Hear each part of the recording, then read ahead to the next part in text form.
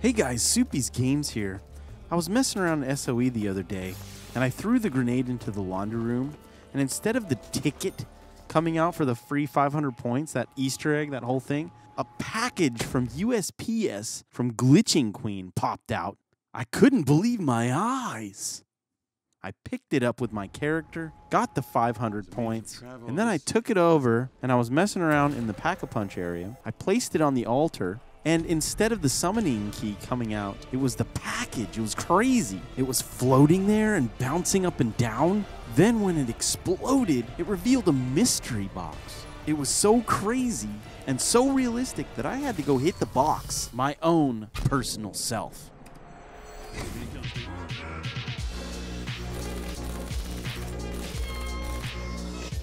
I wonder what's inside. Let's take a look.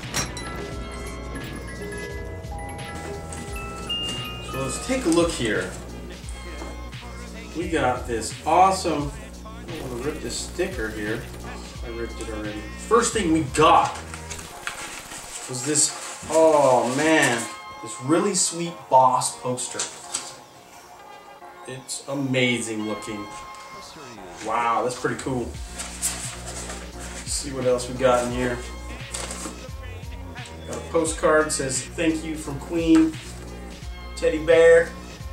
We got this cool little 935 envelope. Open it up and see what's inside here.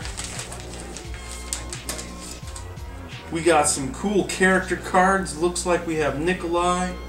Looks like we have Edward Richtofen. We have Takeo. And Takeo. Two times Takeo. Double points! But we're missing Tank Dempsey, unfortunately. Let's see what else is in here. We got a cool summoning key mouse pad. Put that right there. A fire sale keychain. Fire sale! Pretty heavy duty. We also have an envelope with a cool zombie head on it. What do we got here? Oh, that's cool. We have Chang's laundry ticket, which is what I was trying to get in the first place, and instead got this amazing mystery box from Glitching Queen. And it looks like we have two ciphers, which are cool. And last but not least, we have this shirt. Let's just go ahead and try this on. Looks pretty nice, it fits pretty well too. There you have it, Glitching Queen's Mystery Box unboxing. Totally awesome. You guys definitely need to get the second series whenever it comes out. I heard it might come out in February. You guys gotta pick that up for sure. I hope that Easter egg was awesome. Spread the word on that. You guys have a great night, and I'll see you guys later.